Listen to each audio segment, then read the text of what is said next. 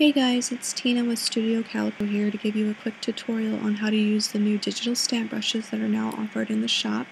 I think it's really amazing that the rubber stamp designs are now digital stamp brushes for us um, digi-scrap slash hybrid scrapbookers. Um, this will be a great tutorial for anybody who's never used a digital stamp brush.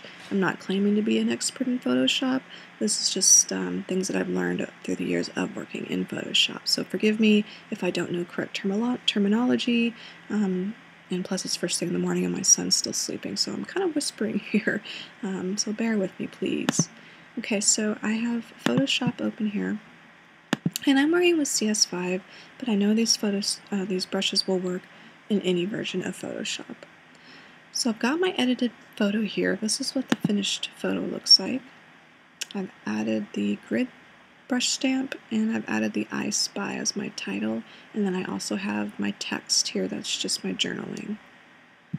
So uh, open up your completed, fully edited photograph and let's go ahead and load our brushes. I've already got them loaded but I'll show you here. Click on your brush icon, click on the arrow, on this arrow, and load brushes. And I have mine on my desktop, so I can find them pretty easily. And then they are loaded.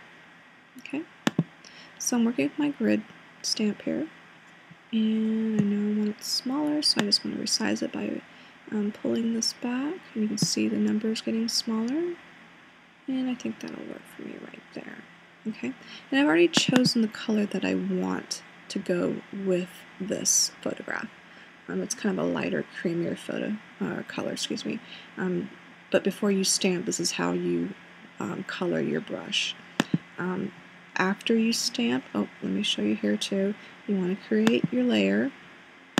I'm going to go ahead and name it because I'm going to do actually, I think, four layers of, or excuse me, four rows of grids. I'm going to go ahead and do that. Um, I know that you probably won't know um, your the layout of the stamps you're going to do just yet, um, but I definitely recommend doing a layer for each um, element that you're going to brush onto your photograph. And I'm sorry, I'm, I'm kind of going back and forth using stamp and brush. Um, it's the same thing here, so I'll try to stick with one from now on so I don't confuse you. Okay, so I'm going to go ahead and lay down my first stamp. And I want to do kind of a checkered pattern. So I'm going to go right here and right here. This is going to bleed over. I'm going to click on, oops, I'm working on different rows. That should have been row one, but we'll go ahead and go backwards.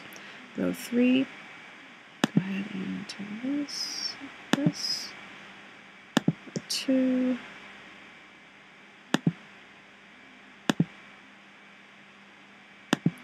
And then one is all the way up top here. Now, I don't want the stamp to cover my camera. I want it to sort of blend into the background so you're, you're barely seeing that grid. So I'm going to go ahead and change the opacity. That's good right there. I mean, I can still see it. It's really subtle and I like that. So I'm going to go back down to row 2. Same thing except it's not going to be so opaque.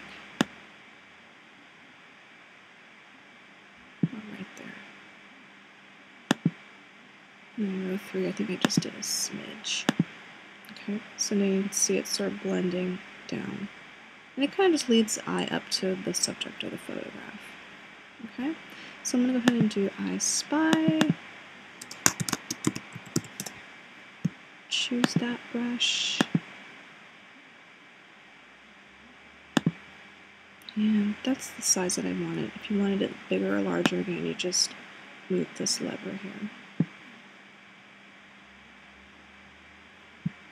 Smaller.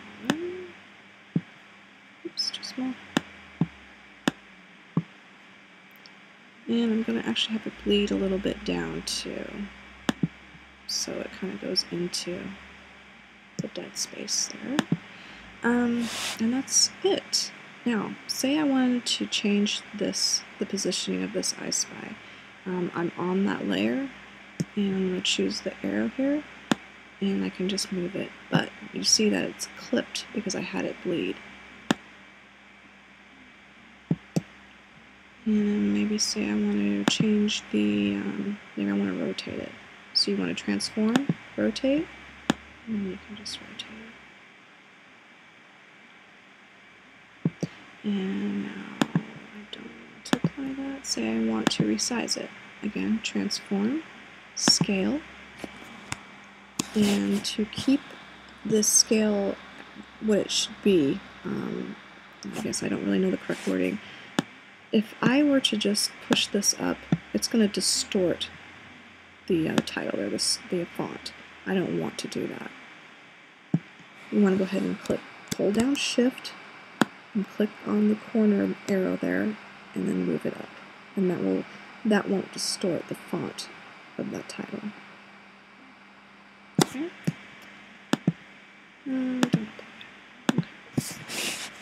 So that's pretty much everything. And then just to add journaling, um, you just click on your text icon and just start typing away. And that's where your journaling will be. Um, it's pretty simple. And uh, yeah, so that's pretty much how you use um, Photoshop brushes. Um, and the final layout, after you know flattening everything down, which you basically just push layer, flatten down. And I know this is a high resolution. I save it, I name it, I print it, and I add it to my layout with some paper elements. And this is basically hybrid scrapbooking. Um, full digital scrapbooking would um, maybe if I just printed out this whole picture and, and, used it as a layout and added some more digital elements to it. Um, but this one, I, I, really like how the digital stamp brushes play into the um, kit papers and elements. So there you go. Thanks guys.